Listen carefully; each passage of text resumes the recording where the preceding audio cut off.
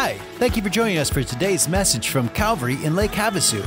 Our message this week is taken from Paul's letter to the church in Corinth and is entitled Flee from Idols. We will look at 1 Corinthians chapter 10 verses 1 through 22. As always, you can download the life notes from our website at calvaryaz.com forward slash life notes.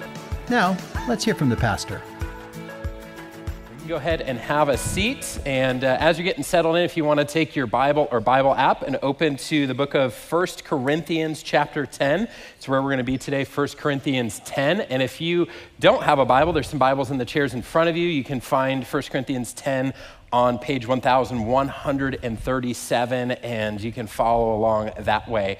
And, uh, you know, I was, uh, I've been spending some time getting ready for this message, and I've been noticing something that I think pertains to our passage, and that is the, the amazing amount of warning labels that exist in our world. Uh, I don't know if you've, if you've noticed that before, and I don't know what it was that pushed it over the edge to me, but I think it was an Amazon package I got a few weeks ago. I bought this it's pretty small. This battery pack to charge my phone while I'm traveling, like this USB thing, it is not very significant. And yet the box came completely stickered up with warning labels about fire hazards. And I mean, it looked like it would be like sure and sudden death for me and my family if I brought this box inside. It was extreme. And I opened it up, I'm like, it's just a little battery. And yet these, these warning labels are all around us. And some of them, like that, seem so ridiculous, so overboard. And then there's others that you look at and you go, why does this warning label need to exist? Who is actually trying this? And, and there's, there's some of those that exist out there. Uh, I saw a picture of this one. It was on this old uh, ATV gas tank, and it was right there by the, the cap that you would unscrew, and it would say, Do not use lit match to check fuel level. And, and, I had so many thoughts in the moment, like who's actually trying that? But I'm like, okay, we didn't always have flashlights on our cell phones in our pockets 24 7. But then I'm also disappointed this existed before the YouTube era, so there's no videos of people trying this, unfortunately, for our entertainment. But, but another one stands out. Uh, a few years ago, I bought a new sunshade for my windshield for my car, and, and on it was this big warning label do not operate vehicle with sunshade in place which again seems ridiculous until you're in Arizona in July and, and you're like, well, what if I just have like most of it in there to get out of the sun? There's, eh, there's a point of desperation. You're like, I just got to get out of the sunlight. But see, not all of them are that way. There's some warnings that exist. You're like, we actually do need that. We don't have awareness of that danger and that risk, and so we need that. Growing up on, on the lake here, there was always this cultural awareness of the danger of carbon monoxide from exhaust. And, and every boat in, in, you know, that exists out there has these big warning labels. And, and that's important because there's nothing to tell you that's dangerous until you're like, I'm sleepy. Yeah, it's because you're dying. That's why you're sleepy. It's not because it's nice, but there's nothing inherently to tell you that's dangerous. So we have to use warning labels. We have to teach people. There has to be awareness of this. I also think uh, about this time uh, several years ago. I was in Hawaii. My wife and I were on vacation, and we're, we're hiking up the coast, and we come down this hill, and there's this beautiful opening in this bay. And there, in the midst of everything, there's this beautiful beach. And I go, man, we got to get in. The, the, the weather's warm, the beach looks great. And we round the corner, and there's this sign. It's this wooden sign, like hand carved with information, telling about this dangerous rip current at this beach. And, and it, you know, do not swim, and it goes into detail. And below it were tally marks of every fatality at that beach. And about three quarters of the sign was just tally marks. And so we did what reasonable people did, and we didn't get in the water. We're like, hey, you know, we'll take pictures and remember it that way instead of remembering it from, you know, the lifeguard boat or, you know, the morgue. Um, and so, so there's some of those that exist out there that we need those warnings because we don't see the danger on our own. And today, as we look at 1 Corinthians chapter 10, we're going to see a, a spiritual warning that maybe we wouldn't see on our own we're going to see a, a, an area of our life spiritually that, that we get a warning label of, hey, you may not see this as a danger, but it's right in front of you. And that is the risk of idolatry. See, all throughout the Bible, we hear it talked about, but here in 1 Corinthians, we're given warnings and explanation about the, the risk of worshiping idols. And so we're going to spend our, our time together today looking at this risk and going, hey, what's this have to do with our life today? But before we get to scripture, let's do some definitions and some groundwork to make sure we, we all are on the same page with what this means. And the first thing that we have to know is that idolatry is worshiping and serving anything above God. That's kind of the, the basic definition. Anything that has a greater priority or importance, anything that gets more of our time, our energy, our commitment, our money, our devotion, more than the place of God in our life, may be an idol. And see, to understand this further, we have to understand that, that all of us were created as worshipers. We will spend our life worshiping. That's how God has wired and created us as people. And ultimately, we were, we were created to worship Him to have relationship and community with Him. And, and anytime we aren't worshiping Him, we're pouring our devotion and worship into something else. That's why when, when we're not following and worshiping God, we're chasing after things. We feel this void or this longing in our life that just can't seem to be filled because it was designed to be filled by our Creator. And so anytime we put something in that place that isn't God, that's an idol that we're serving and worshiping and following instead of God. And so, to understand this more fully, let's kind of do a little, a little history lesson on idolatry because this has been a, an issue from the beginning of time for all humanity. We see it all throughout Scripture, going back to when God gave the Ten Commandments. Uh, Exodus chapter 20, we see this. Uh, you don't have to flip with me, I'm going to quote some of it here, but Exodus 20, God's giving his people the Ten Commandments. These are the, the 10 kind of mileposts, uh, instructions, guardrails, if you will, for how to live their life. And the very first one just says, You shall have no other gods before me. It's pretty direct, pretty clear. There's no room for idols, there's no room for worshiping anything except God. But we as people are dense, so he reiterates in the second commandment. Verse 4, he says, You shall not make for yourself a carved image or any likeness or anything that's in heaven above, or that is in earth beneath, or that is the water under the earth. You shall not bow down to them or serve them gets pretty direct that, that we're not to worship idols. It, it's very clear. God's like, hey, this is important. Out of the 10 most important things I can tell you, we're going to use two of them to say that I need to be the most important thing in your life.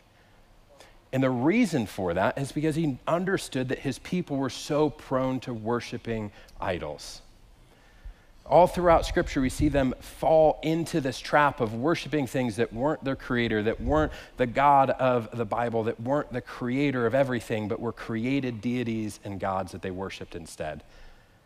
And they sometimes did this so boldly. And, and I bring up Exodus because that's exactly what happened. See, in chapter 20, Moses is on a mountain with God himself, and he's receiving the Ten Commandments and all these other instructions about what it meant to be God's people and follow him. And this took a while.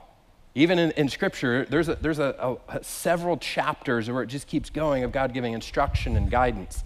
And we get to chapter 32, and he's drawing near to a conclusion.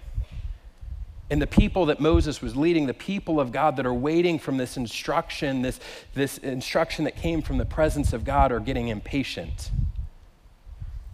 And they go, Hey, we don't know what's going on up there. We don't know what's happening we need something to worship, so let's create something to worship. And so they gather up all the gold that they had and they melted it down and they created a golden calf and they, they all sat and worshiped it. So Moses is up there on the mountain with God getting instructions on not to worship idols, comes down, and the, the people are doing that very thing and they're worshiping idols. And this isn't a one time thing, this is over and over and over again. And they continually went back to this temptation to worship and serve idols. And see, as you look through the Old Testament, as you read through Scripture, even the New Testament, we've seen this even in our study of 1 Corinthians of how do we deal with, with uh, you know, these pagan temples and the people that go there and food sacrifice to idols, like we looked at a couple weeks ago. And I think the temptation for us is to look at this and go, well, this is a, a historical issue. We're modern day Americans. We don't have temples to Baal. We don't have Asherah poles and, and golden calves that are uh, in our living room. This isn't a, an issue for us. But quite the opposite is true. As we look at our passage in 1 Corinthians today, we're going to see that we're not immune from the risk of idolatry. Let's take a look now at 1 Corinthians 10. Let's see what Paul has to say for us in this issue. 1 Corinthians 10, verse 1 says this He says, I don't want you to be unaware, brothers, that our fathers were all under the cloud and all passed through the sea, and all were baptized into Moses in the cloud and in the sea. And all ate the same spiritual food and ate the same spiritual drink.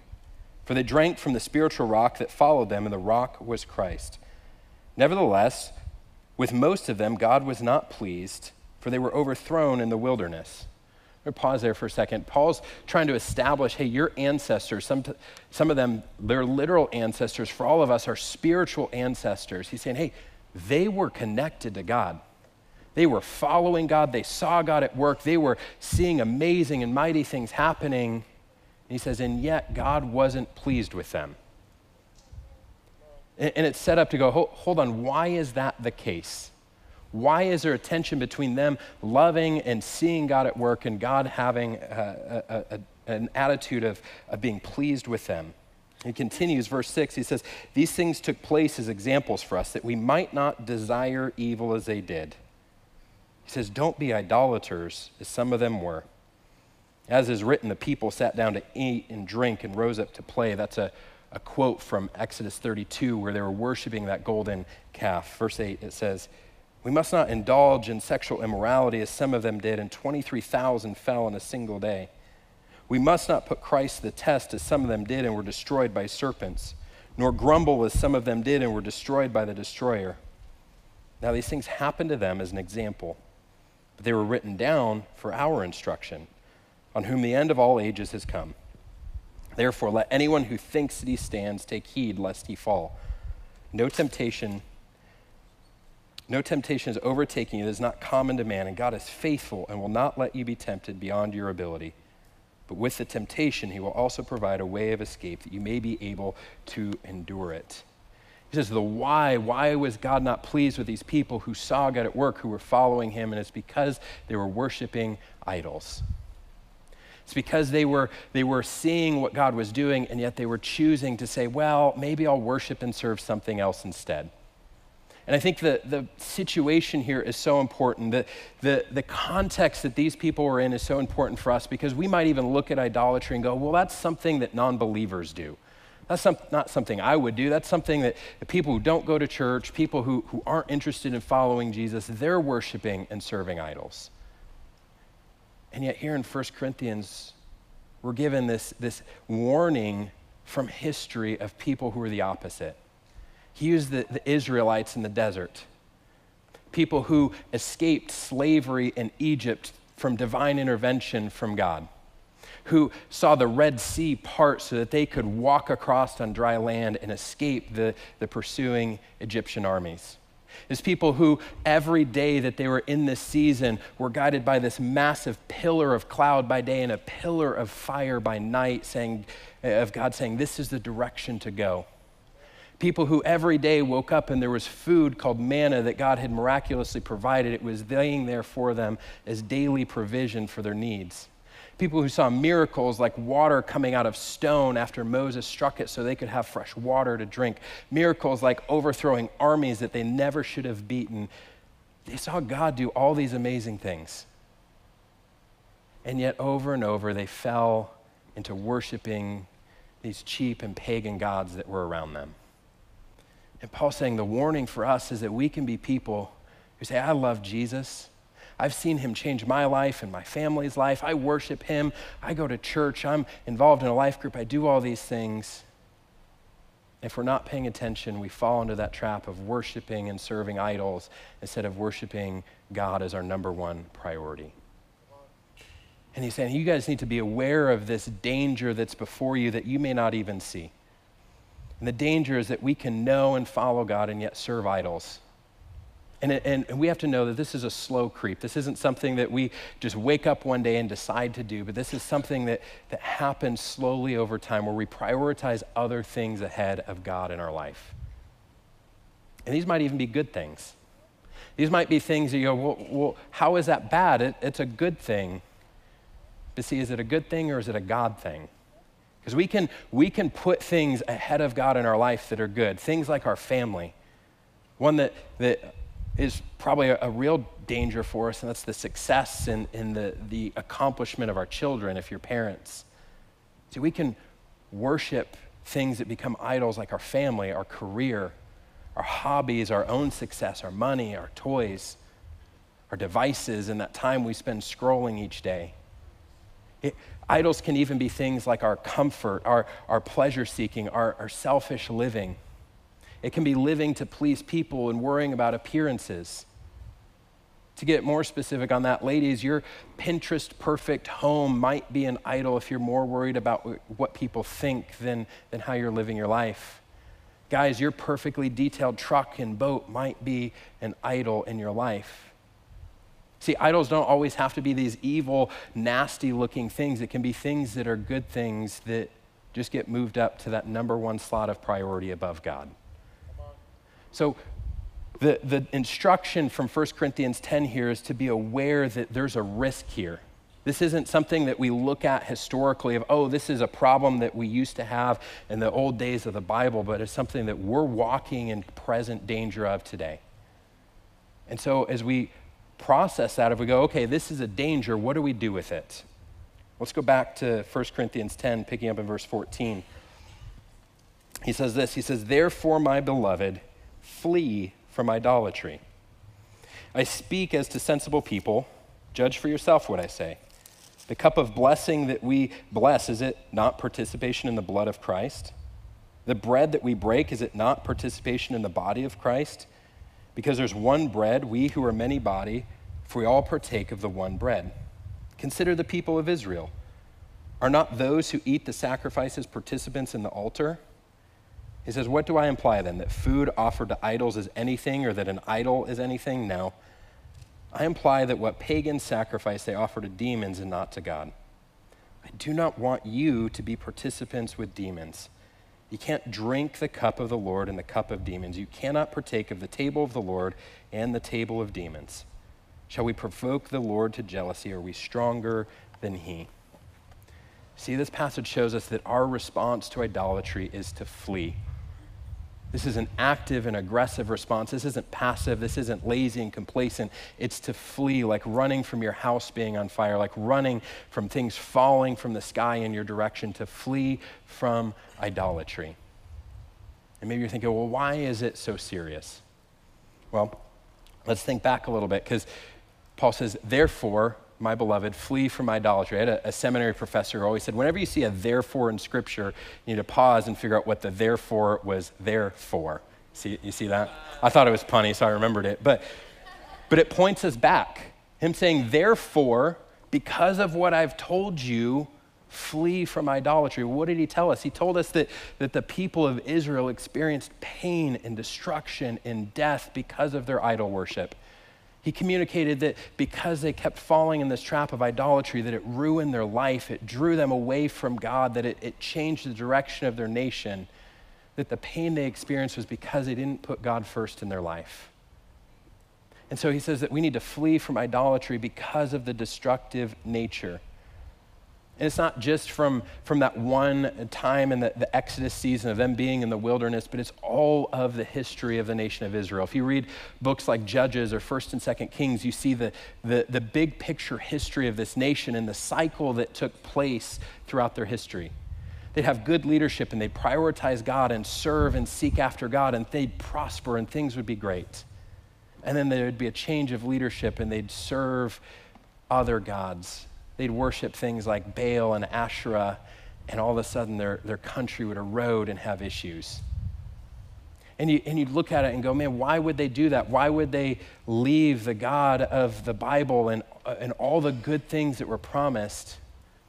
And then you dig a little deeper in those pagan gods of Baal and Asherah. They were the, the, the frequent like pagan deities of that era.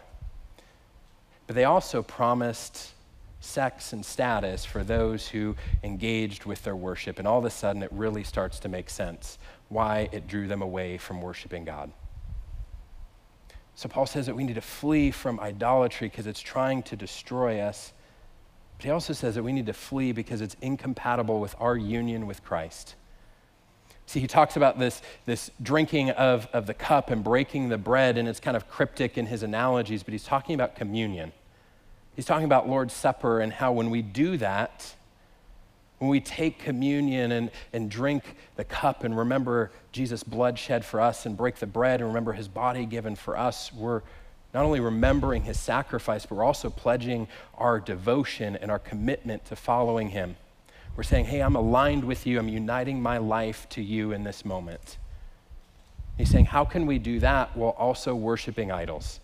Because anytime we're giving of ourself and our worship, we're aligning ourselves with that other thing. He says you can't align yourself with Jesus and with an idol in your life at the same time. It's incompatible.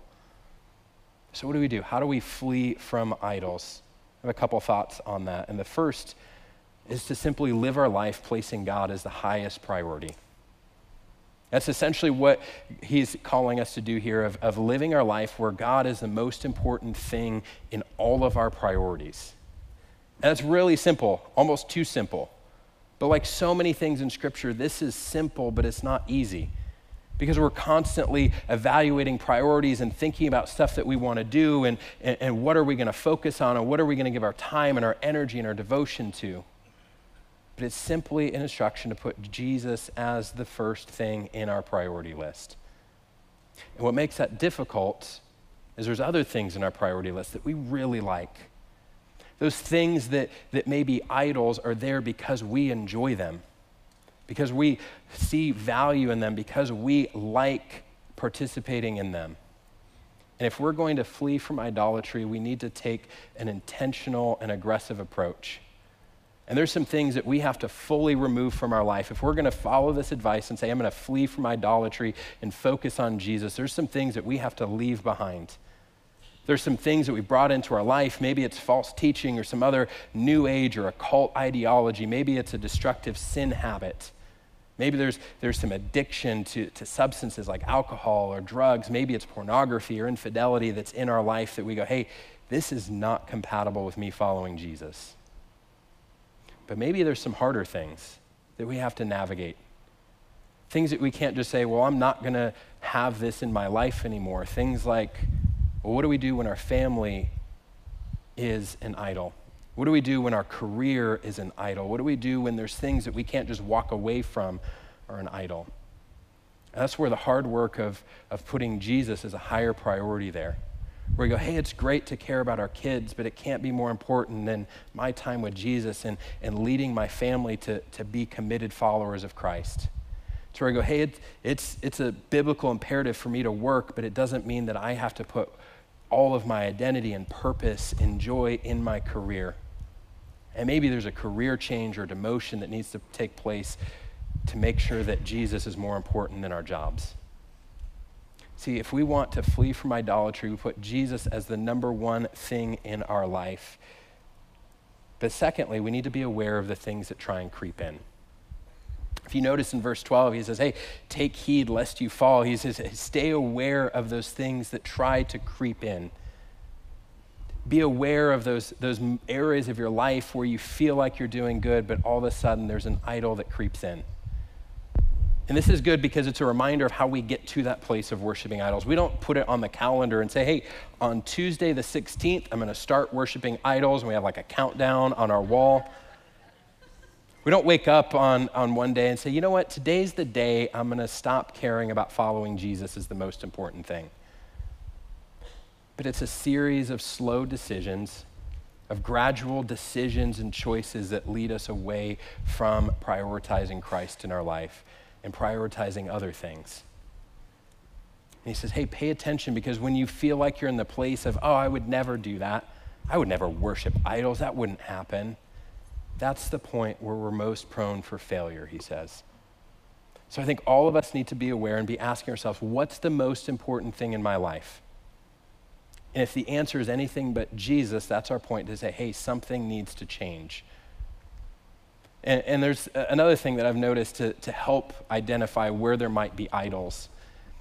And, and I, I learned a while ago that idols are most easily identified when they're threatened. When someone steps on your idol or threatens to take it away, or, or you have a choice between your life eh, uh, uh, of following Jesus and your life of, of worshiping that idol, that's when they're really prevalent those moments when you have a really strong response to a seemingly simple situation might indicate that there's an idol. Like, guys, when you get really angry about your kids dropping a french fry in your, the back seat of your truck and you just get irate, it might be that your truck's an idol. Or parents, if you feel the need to scream and cuss out your, your kid's coach or referee at your sports event, it might be that your kid's success or sports career is an idol. if one bad photo or your, your wardrobe getting messed up ruins your entire day and throws you off, it might be that vanity is an idol in your life. See, where we have these strong, aggressive response to seemingly simple and little situations shows that either there's a, a trigger there that we need to unpack in counseling or that there's an idol that we need to be at work fleeing from. So today, I think we need to ask hey, where are there idols in my life? And are we fleeing from them or are we protecting them and defending them? But I would be remiss if we didn't end this sermon by also saying that as we think about this topic of idolatry, we also need to remember that grace is available. See, we, my, my, motivation, my primary motivation in this sermon is to say, hey, idolatry isn't some historical thing, it's a present risk in our life that we need to be aware of. But secondly, that this wouldn't lead us to a place of feeling like failures and, and feel like, oh, we're just not good enough, but to point us to the fact that Jesus is there waiting for us with grace, with forgiveness, with second chances. That instead of going, oh, I need to try harder or do more, it's no, you need to love Jesus greater in your life. You need to flee to him and, and spend time at his feet saying, hey, you're the most important thing in my life. And I love that in the midst of this, Paul brings up communion as that reminder that Jesus died for us. That he died for us as people who are prone to wander and serve other things than Jesus, as people who are prone to rebel and sin against him. And that Jesus died for us even while we were still sinners, Romans 5 8 tells us. And that he died so that we could be forgiven, so that we could have a restored relationship to him, and so that we could have our life cleansed of the sin that we commit. And so, anytime we find ourselves and we go, man, I, I think I've prioritized something other than Jesus, or anytime we go, man, I've gotten really busy in my life and I don't know the last time I've spent time with God. I don't know the last time I've prayed or spent time reading scripture or really connecting with Him because I've been worshiping all this other stuff. Then we need to remember that He's there waiting for us with open arms, full of grace and love because He wants us to follow Him. But we have a choice to make. We going to worship and serve Him, or are we going to worship and serve the other things that interject our life over and over and over again? Paul's given us a warning here. He's, he's, he's raised the warning flag of an area of our life spiritually. He says, hey, pay attention here because there's something trying to destroy you. But we have to decide what's going to be most important in our life. Is it going to be the things of this world that we enjoy, that, that we've created, that we've put at that top priority? Is it going to be Jesus? But know today that God's calling you to flee from idols and to pursue Him with everything that you have. Let's pray. God, I thank you for sections of Scripture that, that guide us and instruct us. I thank you for the reminder that you haven't left us to figure out this life alone, but you're wanting to walk with us in that, to help us navigate situations that maybe we're not even seeing as a risk in our life. And God, I pray that we would live as people who are constantly seeking to flee from idols. That we're living as people saying, hey, I, I need to prioritize Jesus above everything else in my life so that we can live the life that you've created us to, so that we could have a proper understanding of what it means to be worshipers. And that the, the outlet, the destination, the focus of our worship is Jesus and Him alone. God, we know that we're prone to wandering, to failing, to, to filling so many other things with that top priority slot in our life. So, God, help us to see quickly, to flee even faster, and to constantly be people who fall at the base of the cross saying, Hey, here I am, laying down my idols, my sin, my shame, and picking up the purpose and joy and grace that is available for me in Christ. God, we love you. Help us to love and follow you greater. It's in Jesus' name we pray. Amen. Simply put, idolatry is worshiping and serving anything above God. And whether we recognize it or not, when we prioritize things of this world ahead of God, we practice idolatry. Like the title of the sermon, we should flee from idols. In an effort to encourage you in your walk with the Lord, we post daily three to five minute devotional videos on our Facebook and YouTube accounts. You can sign up to receive them by visiting calvaryaz.com forward slash Devo. That's D E V O. Well, that'll do it for today. Have a terrific week, and we'll be back next weekend. Bye bye.